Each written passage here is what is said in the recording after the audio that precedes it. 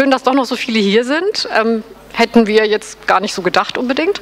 Ähm, wir freuen uns. Mein Name ist Anja Müller. Ich komme von Digis ähm, und das ist mein Kollege Christian Schmidt. Christian kommt vom Archiv der Jugendkulturen und ist ein Projektpartner von Digis in diesem Jahr im Förderprogramm zur Digitalisierung von Objekten des kulturellen Erbes. Genau. Ähm, wir wollen ähm, hier in der Session einen kurzen Input geben. Zum einen, was eigentlich Digis ist, was unsere Aufgaben sind und auch was dieses Förderprogramm eigentlich beabsichtigt. Das ist unter Umständen vielleicht interessant für das ein oder andere auch Archiv oder die Institutionen, die hier sind.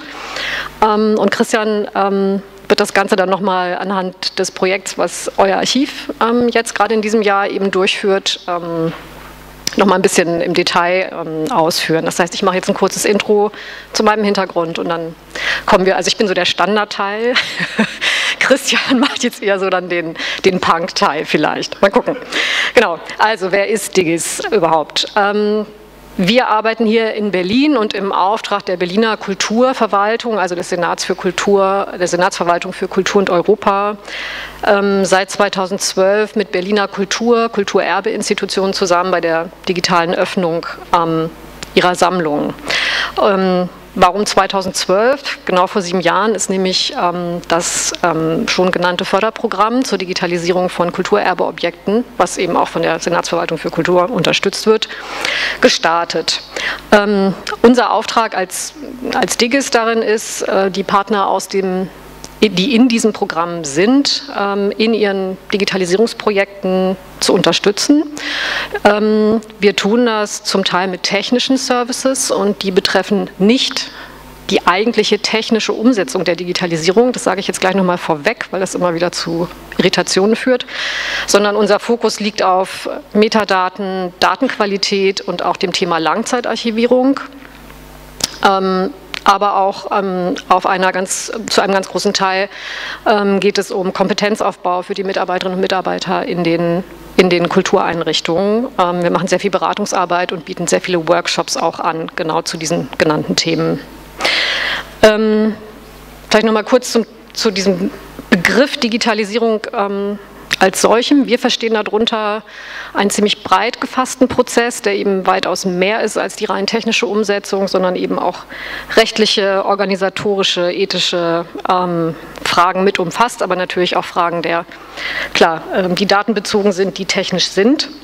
Und ähm, im Englischen gibt es dafür ja Gott sei Dank zwei Begriffe. Es gibt diesen Digitization, der sich wirklich konzentriert auf die technische Umsetzung oder der genau das meint. Und es gibt Digitalization, dem wir uns jetzt auch als Digis und im Rahmen dieser, dieses Förderprogramms verpflichtet fühlen für diesen ähm, umfassenden Prozess. Und ähm, wir denken, dass gerade weil Digitalisierung ähm, so viele Bereiche in den Institutionen berührt, fordert das sozusagen ähm, ja, die, die Institutionen auch nochmal heraus, wirklich auch nochmal so ein bisschen Kernkompetenzen ähm, ihres Selbst, ihres Tuns einfach mit zu überdenken. Und das ähm, hat was mit Fragen der Dokumentation, der Archivierung zu tun, auch der Vermittlung ähm, der Inhalte natürlich, aber auch dessen, wie man sich sozusagen in seiner Community begreift. Wie sieht man oder wie tritt man in Kontakt mit seinem insbesondere digitalen Gegenüber auch.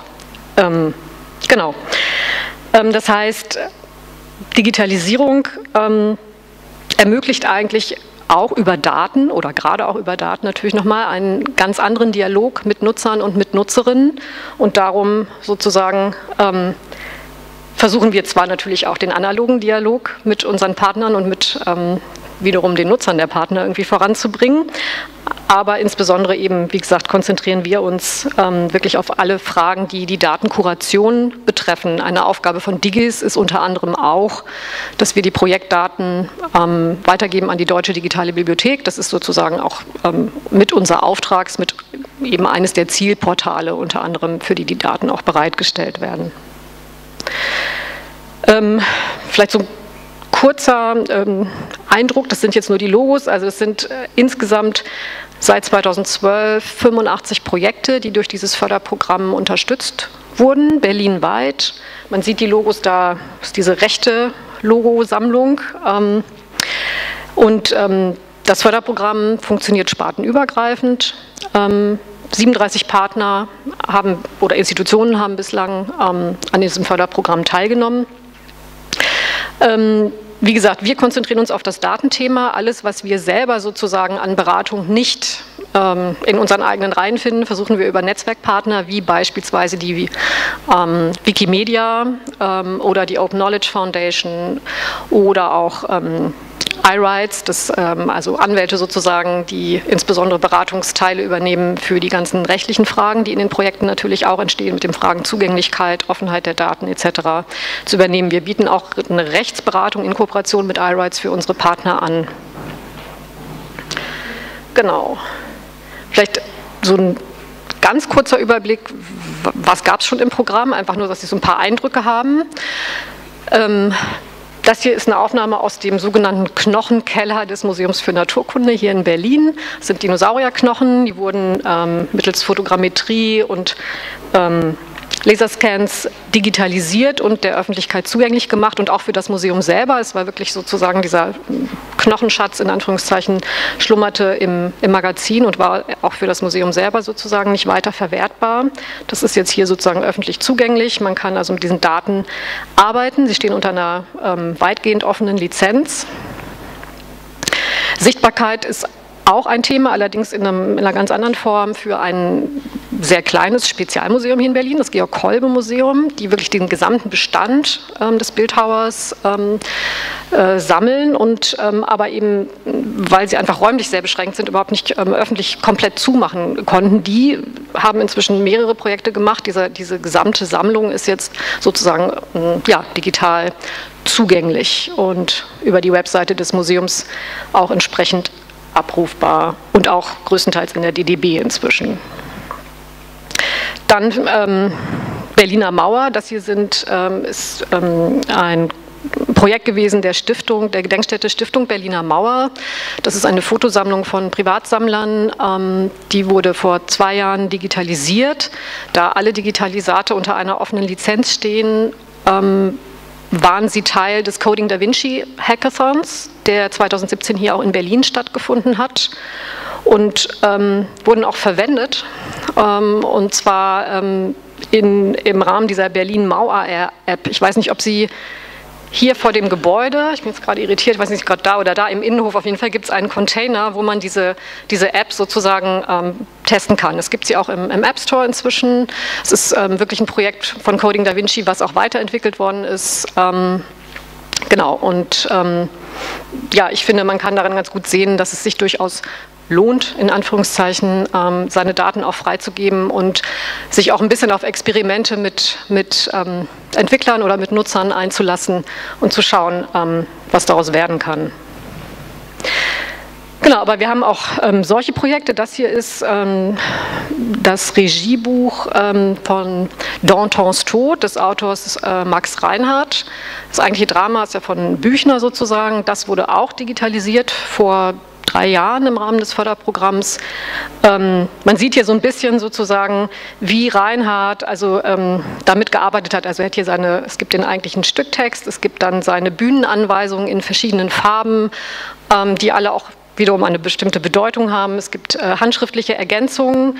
Das Ganze, Ganze wurde transkribiert und letztlich dann in, mit TEI, also mit, der, mit dem das ist ein, ein Rahmen, ja, Richtlinien sozusagen, das ist noch nicht mal ein Standard, der Text Encoding Initiative, entsprechend strukturiert aufbereitet und auch ähm, verfügbar gemacht. Genau zu diesem Teil wird auch Christian, weil das betrifft auch Christians Projekt, ähm, dieses Punk-Fanzine, also ist ein ganz anderer Bereich, aber man kann mit, dem, mit demselben Standard äh, sozusagen auch vorgehen. Dazu wird Christian einfach gleich noch was sagen. Okay, das waren vier kurze Beispiele, so ein bisschen um das Spektrum zu zeigen, was alles in diesem Förderprogramm schon gemacht wurde oder welche, mit welchen Projektpartnern wir es auch zu tun haben. Vielleicht noch mal kurz zu diesem Gesamtmodell. Ähm, Berlin hat seit 2010 bereits ein Digitalisierungskonzept ähm, Hintergrund war der, dass ähm, in der Zeit ja auch die Deutsche Digitale Bibliothek richtig an den Start ging und das Land Berlin gerne auch wollte, dass natürlich seine Inhalte dort präsent sind. Und es war eigentlich relativ schnell klar, dass das jetzt nicht gerade eben so passiert und dass Digitalisierung auch nichts ist, was in den Kulturerbeeinrichtungen, in den Archiven, Museen etc. gerade mal eben aus Haushaltsmitteln ähm, ebenso bewältigt werden kann. Und es war also klar, es gibt irgendwie Projektförderung für diesen Bereich und es sollte in den Institutionen direkt auch mit Digitalisierungsprojekten gearbeitet werden. Also sprich, es gibt in diesem sogenannten Berliner Modell zum einen einfach dezentrale Projektgelder, um die man sich als Berliner Institution einmal im Jahr in einem wettbewerblichen Verfahren bewerben kann. Die Projekte werden dann ausgewählt und empfohlen von einer externen Fachjury. Also das machen nicht wir als Digis zum Glück. Ähm, genau, also es geht darum, Praxiserfahrung zu sammeln und auch Teil eines Netzwerkes zu sein und es gibt auf der anderen Seite aber eben auch uns als Koordinierungs- und Kompetenzstelle. Das heißt, unsere Beratung, äh, die Beratung unserer Partner beginnt schon ein Stück, ganzes Stück weit auch vor der Antragstellung. Also nämlich, wie wird aus einer Idee überhaupt irgendwie ein Projekt und ein Antrag? Ähm, und wie macht man das passend im Rahmen dieses Förderprogramms und geht dann eben weiter über alle Phasen sozusagen des gesamten Projekts bis zum Ende, eben bis zur, ähm, bis zur Langzeitarchivierung. Ähm, genau. Alles, was wir an Beratungsteil machen, ist zum einen wirklich, wenn man so will, in, was die Projekte betrifft, äh, die laufen, wirklich eine 1 zu 1 Beratung, aber wir haben ein relativ breites Workshop-Angebot pro Jahr. Das ist kostenlos und steht allen Interessierten zur Verfügung, also kann man anmelden und hinkommen. Wir starten jetzt sozusagen wieder im, im nächsten Jahr ähm, damit. Ähm, und wie gesagt, der Fokus dessen, was wir in diesem Workshop-Programm abdecken, hat, ist ganz klar Metadaten, aber wir haben, bieten auch Workshops an zum Thema digitale Strategieentwicklung, Rechte, Langzeitverfügbarkeit und wir machen jetzt im November noch einen Workshop in Kooperation mit der TU, mit der TU Berlin zum Thema Augmented und Virtual Reality. Genau, und ähm, zum Abschluss nochmal kurz der Hinweis auf, ähm, zum Thema Langzeitverfügbarkeit der Projektdaten, weil es, finde ich, nochmal sehr hervorzuheben ist, dass das wirklich ein, ein, wirklich ein Benefit ist in diesem Gesamtprogramm. Das Land Berlin hat einen Rahmenvertrag mit dem ZUSE-Institut Berlin geschlossen. Das ist da, wo DIGIS auch angesiedelt ist. Das ZUSE-Institut ist ein Forschungsinstitut für angewandte Mathematik und Informatik. Ähm, und hat eine entsprechende technische Infrastruktur, also Hardware sozusagen für, Langzeit, für die Sicherung der Langzeitverfügbarkeit der Projektdaten. Und in diesem Rahmenvertrag, den es gibt vom Land mit dem Institut, ähm, sind sozusagen die Kosten gedeckelt für mindestens zehn Jahre LZA aller Projektdaten. Also alle Daten, die aus den Projekten kommen, werden von uns übernommen und werden dort entsprechend kuratiert, mindestens zehn Jahre vorgehalten. Das ist also etwas, was das Land Berlin, finde ich, mal ziemlich gut gemacht hat, kann man schon auch mal sagen, ähm, dass sozusagen da wirklich eine Vorsorge für die etwas ja, mittelfristige Zukunft sozusagen ähm, getroffen wurde für Digitalisate und entsprechende Metadaten. Genau, und wir arbeiten, ähm, wir arbeiten mit Archivematica, das nur noch so zum Abschluss, weil dieses Stichwort vorhin in, dem, in der vorherigen Session auch schon viel, es ist ein Open-Source-System, was sozusagen den Kern des, ähm, der Archivsoftware eigentlich bildet. Genau, Punkt. Ich lasse es mal hier dabei ähm, und würde jetzt an Christian übergeben. Sollen wir den Platz tauschen wegen den Folien? Ja, ich, ich mhm.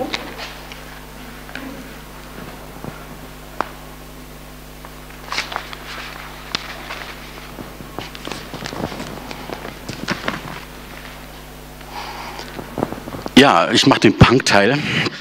Ähm, mein Name ist Christian Schmidt, ich bin äh, wissenschaftlicher Mitarbeiter im Archiv der Jugendkulturen in Berlin-Kreuzberg. Das Archiv ähm, gibt es seit 1998 und ähm, es versteht sich als so eine Art Kompetenzzentrum, Informationsort, ähm, auch Sammlungs, ähm, ja, Sammlungsort und Fachbibliothek zum Thema Jugendkulturen. Ähm, Im Wesentlichen gibt es drei Bereiche im Archiv der Jugendkulturen. Das ist die Sammlung selbst ähm, von äh, authentischen Materialien aus Jugendkulturen und die Fachbibliothek mit Literatur zu dem Thema. Dann gibt es eine weitere Säule, die beschäftigt sich mit politischer und kultureller Bildung auf der Basis von jugendkulturellen Ausdrucksformen zum Beispiel. Und ähm, die dritte Säule ist sozusagen, wir betreiben auch selbst Jugendkulturforschung und wir erforschen unseren eigenen Bestand auch. Sozusagen, wir schauen uns das an. Ähm, der Schwerpunkt äh, von unserer Sammlung, also das Kernstück, äh, besteht eigentlich aus ähm, sogenannten Fanzines. Auf die werde ich jetzt nochmal im Besonderen eingehen, weil die auch eine besondere Herausforderung tatsächlich für die ähm, Digitalisierung darstellen. Ähm, davon haben wir im Archiv der Jugendkulturen ähm, mehr als 20.000 Exemplare. So ganz genau wissen wir das gar nicht, äh, weil da noch ganz viele ungeöffnete Kisten rumstehen. Ähm, und grob zeitlich so ab den 50er Jahren bis in die Gegenwart und wirklich weltweit gestreut. Also mit dem Schwerpunkt natürlich auf, ähm, auf Deutschland sozusagen. Ja, was sind Fanzines? Ähm, Fanzines, dieser Begriff ist eigentlich eine Zusammensetzung aus den äh, Wörtern Fan und Magazine ähm, und ähm, entsteht ähm, ja, in den 40er Jahren in, in den USA als sozusagen, also im Zusammenhang mit US-amerikanischen Science-Fiction-Fans. Die bringen äh, Amateurpublikationen heraus, die sie abgrenzen von den professionell ähm, hergestellten Magazinen, die sie selber dann Proscenes nennen. Das zeigt schon, diese Fanzines, die sind auch immer so eine Abgrenzung zu bestehenden Medien. Das heißt, also die versuchen auch immer sozusagen so einer Kategorisierung zu entfleuchen. Das macht sie äh, spannend bei der Archivierung zum Beispiel, aber auch ähm, ja, man kann da sehr schnell die Nerven auch verlieren, wenn man ähm, äh, mit so, so, Dingen konfrontiert ist wie Rückwärtszählung äh, der Hefte oder sowas. Oder äh, ständig veränderte Hefttitel oder so, solche Dinge. Mhm. Aus diesem ähm, Science-Fiction-Kontext ähm, haben sich dann ähm, diese Medien auch in andere Szenen übertragen und in andere Länder. Und eine Szene, wo das wirklich ähm, regelrecht explodiert, ist tatsächlich auch, waren dann Punk-Fanzines. Zunächst aber mal ähm, zu den Besonderheiten ganz generell von Fanzines. Hm, ich werde das nur kurz ansprechen, also wenn, wenn ihr da Fragen habt oder so, dann im Anschluss nochmal, dann kann ich die gerne ähm, nochmal im Detail klären. Also ich habe es ja schon gesagt, ähm, Fanzines sind in Eigenregie verfasste, ähm, produzierte und vertriebene Amateurmedien, also Do-it-yourself-Medien.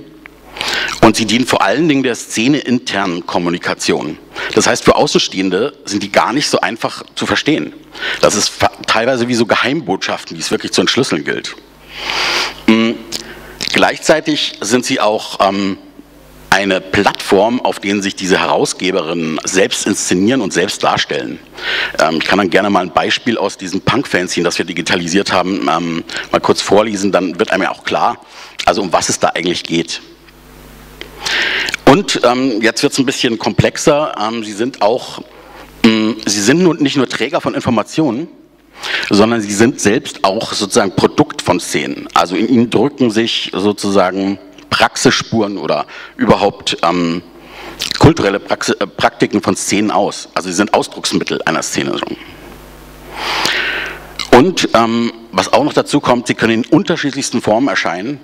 Ähm, und die wiederum hängen ganz stark davon ab, welchen ähm, historischen Kontext, ähm, lokalen Kontext, kulturellen Kontext und sozialen Kontext diese Hefte haben oder diese Szenen haben, in denen sie erscheinen.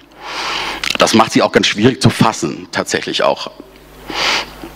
Mm, hinzu kommt, dass ähm, sie eigentlich eine ganz eigenständige Medienart herausbilden, die sich aber, wie ich schon vorher auch gesagt habe, immer wieder von den von bestehenden Medien ähm, abgrenzen, indem sie einfach wahllos wie in einem, man kann sagen, Steinbruch äh, Elemente aus diesen Medien rausnehmen und neu kombinieren. Also was ist ich, zum Beispiel Tagebuch mit Zeitschriften und ähm, äh, Reiseberichten oder so. Also es ist auch ganz schwierig, ähm, das tatsächlich zu fassen. Und aufgrund ähm, dieser Bricolage, so haben das einige Forscher auch genannt, dieses Mediums, ähm, sind diese Hefte in der Lage, ganz persönliche Beziehungen auch herzustellen zwischen Leser und Herausgeber. Also ähm, gerade wenn das so tagebuchartig zum Beispiel wird, ähm, hat das oder hat, man hatte manchmal den Eindruck, es ist fast wie ein Brief an die Leser. Ähm, das macht sie auch nochmal so zu besonderen Medien und wo dann auch tatsächlich ethische Aspekte ins Spiel kommen bei der Digitalisierung. Ähm, ich habe ja schon gesagt, ähm, also diese Punk-Fanzines, ähm, die sind also bestehen eigentlich, äh, seit es eigentlich Punkmusik gibt. Ähm, der Titel Punk äh, ist sogar abgeleitet von dem ersten Fanzine. Ähm, Und die sind dann regelrecht explodiert zu dieser Zeit. Das hängt damit zusammen, dass gerade dieses Do-it-yourself-Prinzip von Punk halt genau auf da auf so einen Nährboden gefallen ist.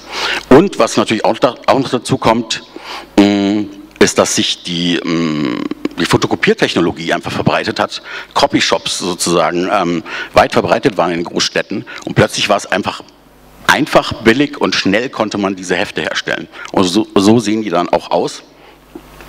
Da werde ich jetzt nochmal im Besonderen eingehen. Mhm. Das Interessante ist an diesen Punk-Fanzines, ähm, wie zum Beispiel das, ähm, das, das ich dann gleich noch ähm, näher eingehen werde, dass sie eigentlich wie, zunächst mal wie Musikzeitschriften ihrer Zeit wirken.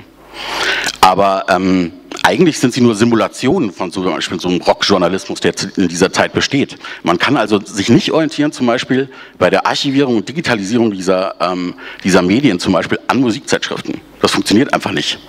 Ähm, da werde ich dann auch nochmal ein Beispiel dafür nennen. Mm. Genau, und wir ähm, wollten mit dem Digis-Projekt einfach jetzt auch mal ausloten, also es war unser erstes sozusagen Digitalisierungsprojekt in der Praxis, ähm, wie tief können wir eigentlich diese, diese Heft, so ein Heft sozusagen erschließen digital? Ähm, und wo sind die Herausforderungen, aber auch die, ähm, ja, die Chancen, wenn man so will ähm, diese Hefte zum Beispiel besser zu verstehen. Weil, wie gesagt, das sind äh, zum Beispiel ähm, Inhalte, die wirken wie Geheimbotschaften, die müssen erstmal erklärt werden. Und gerade über TI zum Beispiel lassen sich dann zum, auch, auch Textstellen annotieren, erklärbar machen und so weiter und so fort. Also da gibt es auch Chancen, einfach diese, diese Medien besser verstehen zu können. Das Fanzine, ähm, um das es geht, ähm, trägt den Titel YKLRMPFNST ähm, also ist unaussprechbar mm, und äh, erschien 1980, das war die vierte Ausgabe und äh, nannte sich selbst Sonderausgabe zum Münchner Oktoberfest 1980. Also es ging um das Attentat auf das Münchner Oktoberfest, das, äh, ich glaube, ein, zwei Wochen vorher passiert ist. Mhm. Äh, ich bringe mal sozusagen ein Original, äh, ein O-Ton damit man mal so einen Eindruck kriegt, ähm, wie äh, Mutfak, so heißt äh, der Herausgeber oder nennt er sich, was es steht türkisch für Küche, hat überhaupt keine Bedeutung eigentlich, aber ähm, hat den Namen so gut gefunden und hat es dann einfach sozusagen übernommen. Hm. Ich möchte mal das nächste. Hm. Also, ich gleich noch was zu.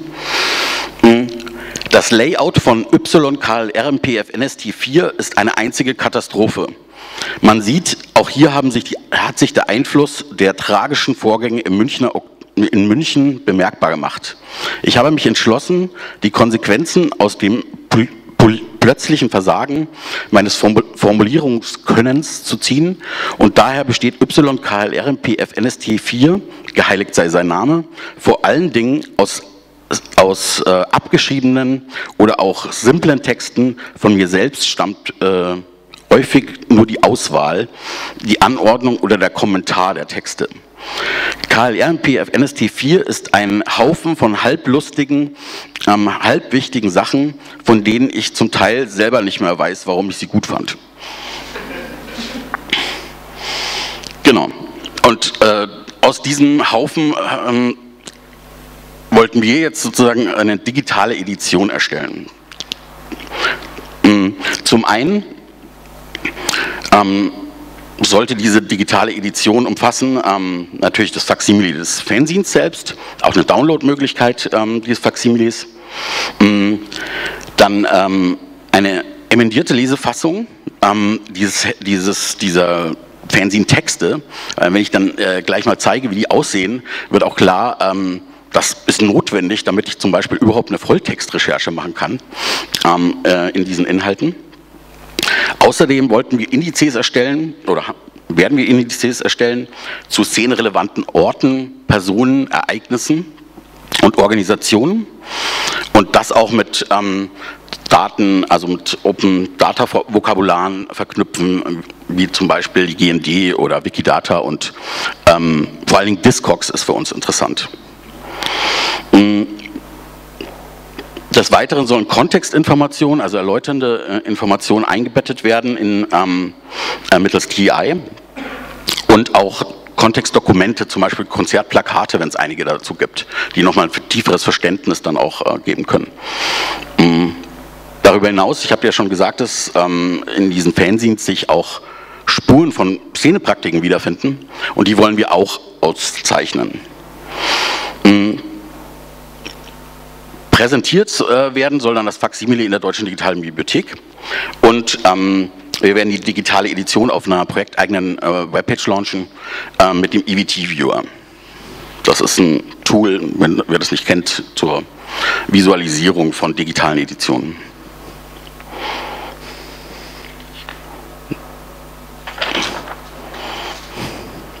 So, wo bin ich? Genau, also es ist eine ganze Menge, die wir uns vorgenommen haben. Ähm, und äh, das fing schon, ähm, die erste Herausforderung bestand schon darin, diese Texte zu transkribieren. Ähm, ich weiß nicht, ob man es hier wirklich gut sieht. Also nur ein Ausschnitt. Mm, also wie gesagt, da sieht man das noch gar nicht so gut. Auf dem nächsten Bild sieht man es besser.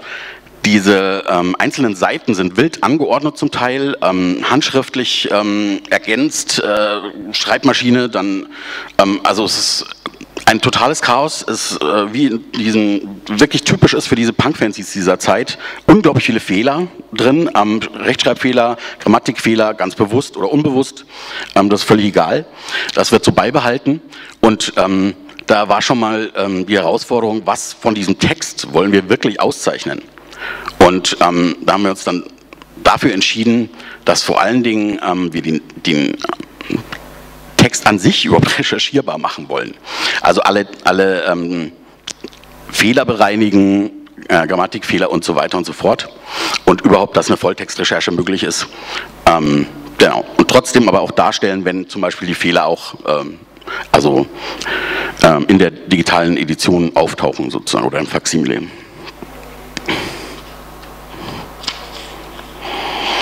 Eine äh, weitere Herausforderung tatsächlich auch mh, mm, bestand in der Fanzine-Gestaltung. Da sieht man jetzt mal so ein, also das ist die erste Seite oder die erste Innenseite, wenn man so will. Ähm, anders als äh, in so üblichen Musikzeitschriften gibt's, da gibt es halt Kolumnen oder so, die sind halt relativ übersichtlich angeordnet. Hier hatten wir schon ein Problem, ähm, das irgendwie zu fassen. Also man sieht zum Beispiel auch, ja, das sieht man jetzt hier nicht so gut, aber ähm, unter links neben Zone 2, also in der linken unteren Ecke, ist zum Beispiel die Adresse einfach ähm, äh, irgendwie da reingeschrieben. Und ähm, genau, und da haben wir uns entschlossen, nicht nach ähm, also diese Struktur der Seite äh, darzustellen, in, indem wir Zones auszeichnen. Das hat auch den Vorteil, dass wenn wir zum Beispiel äh, die Rechte nicht klären konnten für einzelne Elemente auf diesen Seiten, können wir die einfach schwärzen und ähm, können trotzdem sozusagen die Seiten online stellen und können noch erklären, sozusagen, das, dafür haben wir die Rechte nicht. Das war sozusagen auch eine pragmatische Lösung, ähm, die wir mit ähm, solchen rechtlichen Problemen hatten. Mhm. Zum Beispiel, also da werde ich jetzt nochmal kurz eingehen. Ähm, das hier ist äh, mh, das Transkript, das Mutwag angelegt hat von einer Fernsehsendung über Punks und Tets. Ähm, diese Inhalte aus dieser Fernsehsendung sind urheberrechtlich geschützt. Selbst wenn er das Transkript selber angelegt hat, äh, müssen alle Inhalte sozusagen, die, die unmittelbar diese äh, Fernsehsendung betreffen, dürfen wir eigentlich, also da haben wir die Rechte nicht bekommen, äh, beziehungsweise die stehen noch aus, die Frage, müssen wir, können wir nicht sozusagen online stellen. Ähm, wir haben dann mh, Möglichkeiten gefunden, eben wie wir damit umgehen, die meines Erachtens auch ganz charmant sind, äh, weil sie auch klar machen, also dass diese Hefte, die quasi ständig selbst gegen Urheberrecht äh, verstoßen, ähm, also wie wir diese Charakteristika auch wieder mit aufnehmen können. Zum Beispiel haben wir dann wirklich im Transkript angefangen, ähm, das alles durchzustreichen, das wird geschwärzt. Es wird, äh, wird, also dieses Transkript geht über drei, vier Seiten. Es wird Blöcke an Schwarz geben und nur zwischendrin sozusagen Kommentare von Mutfax selber.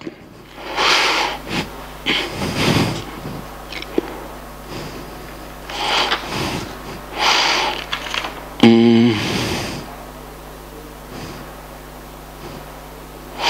Genau, also wir haben immer versucht, ähm, auch so ganz pragmatische Lösungen und einfache Lösungen zu finden, weil unsere personellen und finanziellen Mittel einfach auch sehr begrenzt sind im Archiv der Jugendkultur. Mhm. Darüber hinaus gibt es einfach noch Herausforderungen, ähm, die jetzt im Zuge gerade der Auszeichnung TI ähm, nochmal relevant wurden.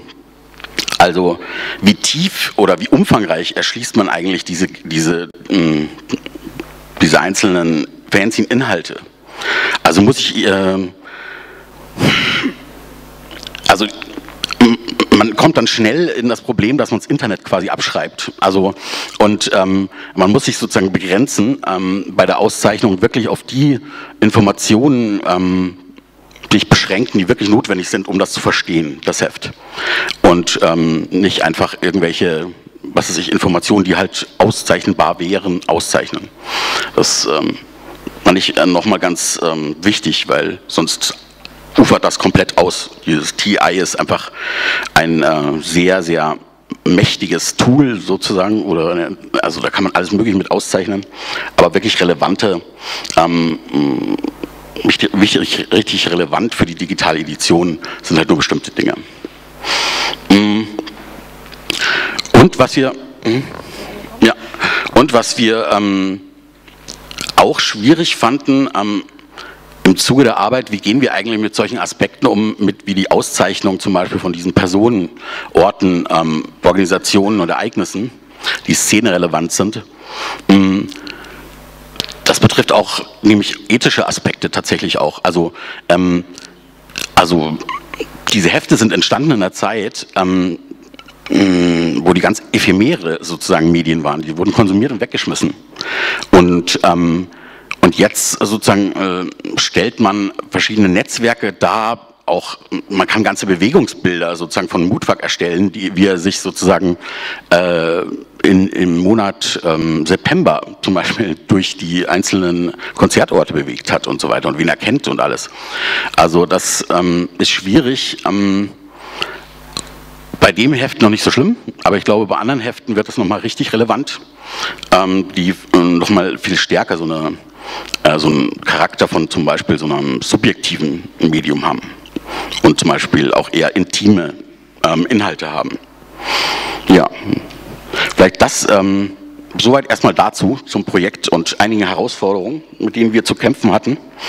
Ähm, was für mich ähm, als Frage, äh, was ich gerne in den Raum werfen würde, oder ähm, was, ich, was mich sehr beschäftigt hat oder uns beschäftigt hat, ist wirklich, ähm, gibt es ähnliche Projekte, die so, solchen ethischen Aspekten, ähm, also wo solche, solche ähm, Herausforderungen aufgetaucht sind ähm, in Archiven und wie ist man damit umgegangen. Das finde ich zum Beispiel sehr interessant. Hm, ja, vielleicht soweit erstmal.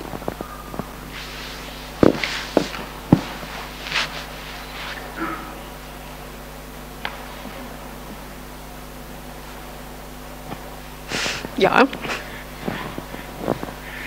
also ich denke, über äh, ethische Aspekte äh, sitzen wir hier genau am richtigen Ort. Wir hatten ja schon in der einführenden Keynote ähm, gehört, äh, wie sieht es aus hier mit Persönlichkeitsrechten von Opfern des Ministeriums für Staatssicherheit. Ähm, die werden dir da sicherlich weiterhelfen können, aber es geht, ähm, ich kenne es aus anderen ähm, Kontexten, insbesondere was die Aufbearbe Aufarbeitung, äh, ich komme aus Hamburg, die Aufarbeitung von Kolonialgeschichte anbelangt. Auch da ist natürlich die Fragestellung, wie gehen wir mit Opferdokumenten um? Äh, ich denke, in dem Bereich, also keine abschließende Antwort, sondern Bereiche, in denen man vielleicht Antworten finden könnte. Also es hat auch diesen rechtlichen Aspekt nochmal. Bei uns geht es ähm, auch darum, das Archiv der Jugendkulturen, oh, sorry. Ja, also das Archiv der Jugendkulturen als Institution ähm, mh, hat schon immer sozusagen den Spagat geschafft zwischen den Szenen und ähm, der Beschäftigung über diese Szenen. Und das ist ein wichtiger Bestandteil. Also auch, ähm, und da kann man sehr schnell Gefahr laufen, sozusagen dann auch äh, fallen gelassen zu werden, sozusagen von Seiten der Szenen. Um, dann nehmen wir das. Ähm, ähm, glaubt nicht, dass ihr da so äh, in einer Sonderrolle seid. Also auch äh, dort äh, gibt es natürlich heutzutage Interesse, also im Bereich der Aufarbeitung beispielsweise von Kolonialgeschichte gibt es Interessenorganisationen von People of Color, die äh, natürlich heutzutage auch genau darüber wachen, wie eine ähm, äh, deutsche Kulturerbeinstitution, Angehörige oder Nachfahren der ehemaligen Kolonialmacht mit ihren Quellen umgehen. Also auch das hat nicht nur rechtliche, sondern auch für die betreffenden Institutionen starke ethische Komponenten. Noch ein Beitrag dazu?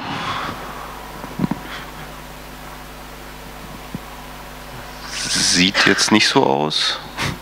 Was? Was? Das kannst doch nicht sein hier. Da ist eine Wortmeldung. Jo. Ja, ich habe vielleicht auch so eine anschließende Frage dazu. Habt ihr euch am Anfang äh, überlegt, oder ja, warum ihr ein Punk-Fanzine edieren wollt? Weil genau wie du gesagt hast, ist es ja eigentlich total konträr. Also ich denke nicht, dass die, der eigentliche Urheber das gewollt, also nein, soweit möchte ich mich nicht aus dem Fenster lehnen, aber vermutlich hat er das nicht gedacht in dem Moment, in dem er das gemacht hat. Und du hast selber gesagt, also so ein Scene wird für die Szene hergestellt und du versuchst oder ihr versucht es jetzt in eine maschinenlesbare Form zu bringen. Das ist ja eigentlich erstmal so das äh, komplette Gegenteil. Habt ihr darüber nachgedacht am Anfang? Also das, das äh, von Anfang an, also war das die zentrale Frage, auch solche Dinge wie, wenn Scenes wirklich so stark materielle Objekte auch sind, also wie können wir das in dem Prozess der Digitalisierung abbilden? Also wir hatten vor diesem, ich nenne es jetzt mal Praxis-Pilotprojekt ähm, hatten wir ähm, sozusagen äh, ein Halbjahresprojekt, wo wir eine Konzeption zur ähm, Digitalisierung von Fanzines als kulturelle Artefakte entwickelt haben. Ähm, ähm, das war in dieser Förderrichtlinie E-Heritage vom BMBF.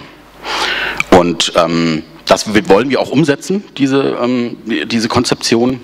Haben da jetzt ein äh, Projekt beantragt ähm, aber wir wollten das mal als Testballon starten, einfach mal zu schauen. Und diese Punk-Fanzines, das, also ich kenne nichts Sperrigeres eigentlich, also ähm, gegen so eine Standardisierung, ja, oder gegen zum Beispiel, also das war schon auch immer in der Archivierung ein Problem. Also mh, zum einen brauchen wir für die Katalogisierung zum Beispiel ähm, dieser, dieser Scenes auch immer Leute aus den Szenen. Das funktioniert sonst nicht. Ähm, und, ähm, und selbst dann, also ist das äh, so eine Erfassungsmaske, ähm, mm, ist dann sehr begrenzt sozusagen für das, was für die Besonderheiten. Also da gibt es alles Mögliche. Split-Scenes, die von vorne und hinten gelesen werden, von zwei Personen gemacht werden. Ähm, was ich vorher schon sagte, eine Rückwärtszählung von 100 runter ähm, ne, und so weiter, bis wir das kapiert haben, zum Beispiel dauert das eine ganze Weile und solche Dinge. Also mh, das sind so richtig undisziplinierte Zeitschriften, die, ähm, ja total. Also da hat man auch Spaß dran. Also das ist so, also so ein bisschen so klammheimliche Freude, auch wenn man die Haare rauft. Ja. wenn ihr mit der Szene zusammenarbeitet beim ähm, Mm, unterschiedlich. Also die finden das ganz spannend, also wie wir da rangehen. Und ich glaube, wir haben auch ähm, dadurch, dass wir ähm, auch Möglichkeiten bieten, dass sie diese Szenen auch bei uns treffen können zum Beispiel oder ähm, ganz bewusst auch diese Dinge archivieren und so oder Workshops auch zu dem Thema machen, ähm, haben wir da ein ganz eigenes Verhältnis zu und da finde ich das interessant und spannend. Aber ich habe zum Beispiel jetzt auch schon ein Heft gesehen, mh, ein Scene, auf dem stand explizit drauf, do not digitize.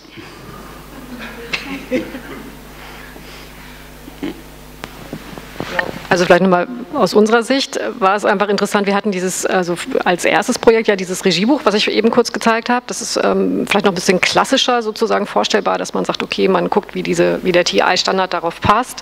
Und jetzt mit diesem, ähm, was wie hast du es genannt, undisziplinierten Scenes sozusagen nochmal zu schauen, wie verhält sich das eigentlich? Wie mächtig ist TI? Wie weit kann man da reinsteigen, um das überhaupt entsprechend zu erschließen und verfügbar zu machen? Und ähm, genau, das ist ja auch so ein bisschen die Unterstützung, die ihr von uns habt. Also wir haben einen Kollegen im Team, der sozusagen ähm, da TI-Spezialist oder sich dazu entwickelt hat, sagen wir mal.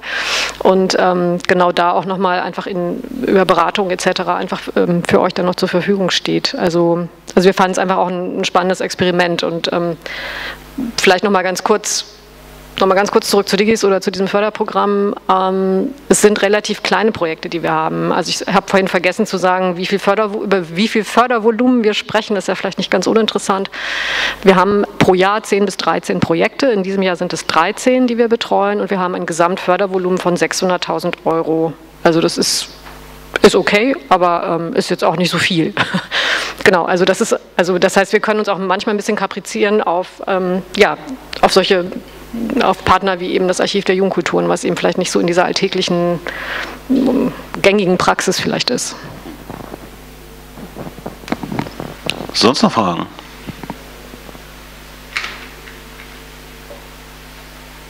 War ziemlich umfangreich. Okay. Dann vielen Dank euch beiden.